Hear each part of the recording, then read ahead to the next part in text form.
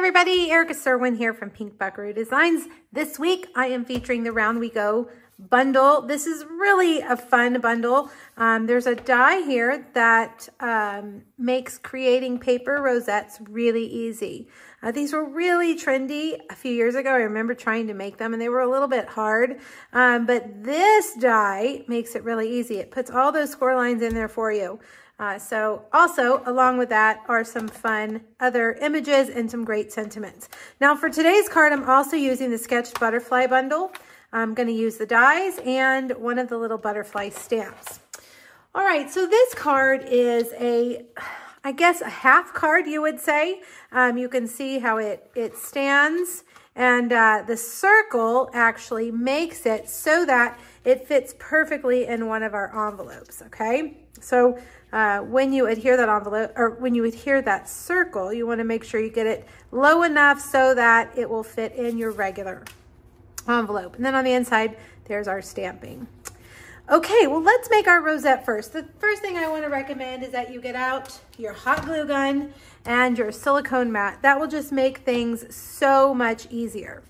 Now, I've already cut out two of the rosette pieces that I showed you from um, Gorgeous Grape. And it's a little bit tedious, but you wanna take your time and you wanna fold on every score line on both of them. So I'll do that and then I'll show you how to adhere it together.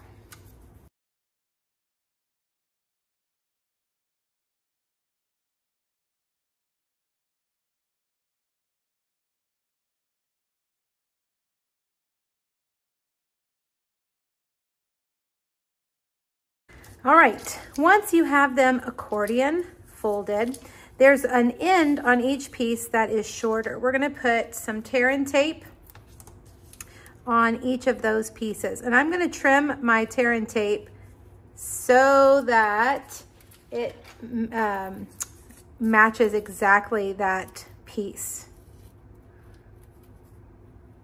Okay, like that. And then we'll do the other one.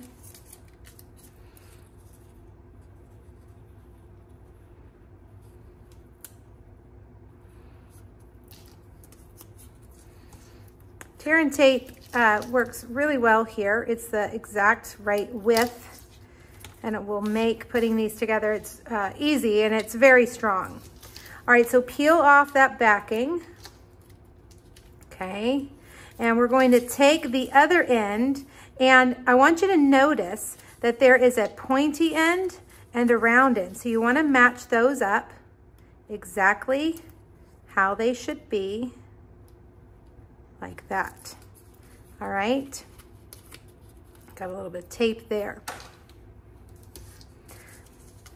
All right, once you have those pieces, we're gonna take this and we're going to adhere it end over end like this. So peel off that backing.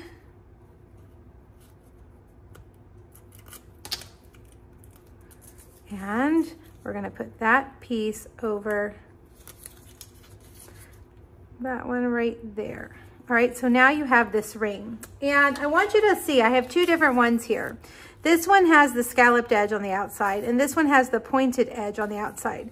So decide which way you wanna make yours. I like the scalloped edge best, so I'm gonna take the pointed ends and push them to the inside, and then there is your perfect little flower. Now this is where it gets tricky, so get your silicone mat. This is what I like to do take just a tiny bit of glue and I have cut out, if I can get it picked up, two of these from the, um, these are from the die set in the same color.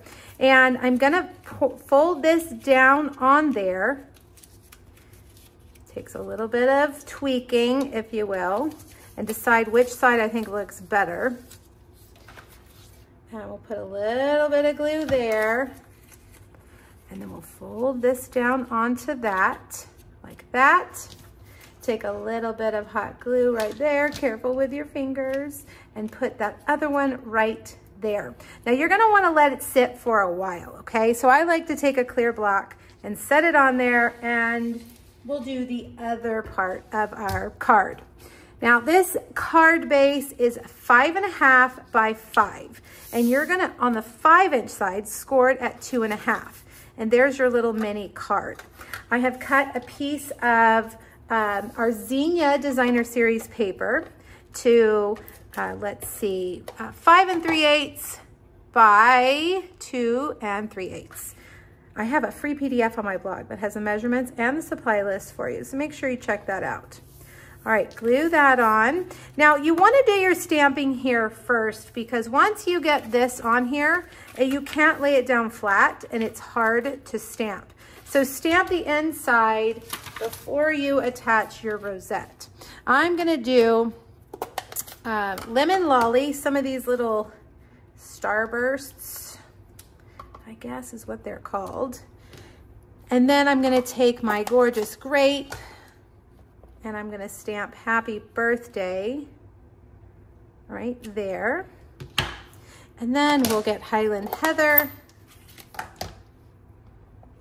and we'll stamp a few of those butterflies to carry over our design from the front.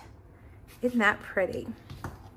Okay, so now let's move that out of the way. We're also going to stamp the sentiment, which says time to celebrate on, let's see, did I lose my little, nope, here they are, on a small nested essential rectangle okay? And it's in Lemon Lolly.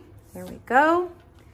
Now, I have also cut out a large circle. This is the largest Spotlight on Nature die. I've cut it from Highland Heather.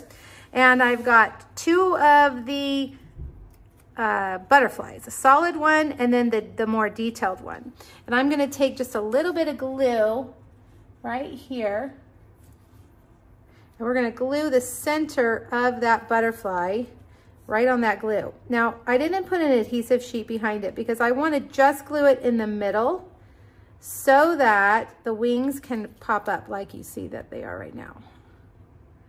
All right, kind of fold those up like that. All right, we're gonna cut a bow. Now, I gotta decide if I like the bow behind the butterfly or on the front of the butterfly. So I'll let you decide on yours. I think it looks good both ways. Why don't we try it this time behind the butterfly. This is some of our lemon lolly baker's twine. I'm gonna make it a little bit bigger than the butterfly so it'll look like that. All right, and we can do just a little glue dot on the back of our butterfly to adhere that I hope I could get it to stick not to my fingernail. There we go. All right, there's that. All right, let's bring over our rosette again. We are going to need some hot glue. There we go. And I'm gonna adhere it just to the center right here. Okay, like that. And then I'm gonna put let's do a dimensional for our butterfly. This card is gonna have a lot of dimension already. So it doesn't really matter if we add a little bit more. All right, there is our, there's our butterfly. Let's cut these a little bit. I really should get my better scissors, shouldn't I, for cutting the twine. All right, there we go. Now, bring back your card. And I like to set it here on the envelope so that I know exactly that I'm putting it in the right place. Okay, so I'm gonna set it down there.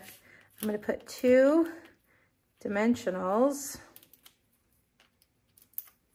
And then I'm gonna set this right here and make sure that I am below the top edge of my envelope. Okay, there we go. Now let's add our sentiment. We'll put one dimensional over in the corner. Let's put it on this side. Mm, I don't know. Maybe I like it better on this side. Well, we're going to need more dimensionals then. Let's put it right there. All right. Now, last but not least, I'm going to add just a couple of our lemon lolly dots. I think I'll do three, two on this side and one on that side.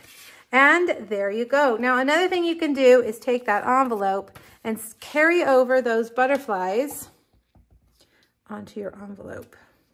Won't that be pretty? And there you go. All right, I hope you enjoyed this project. I have two other Round We Go projects over on my blog with um, videos, and I'll have two more the following week. So make sure you click the link here on YouTube, go back to my blog, and check them out. All right, everybody, have fun. Bye-bye.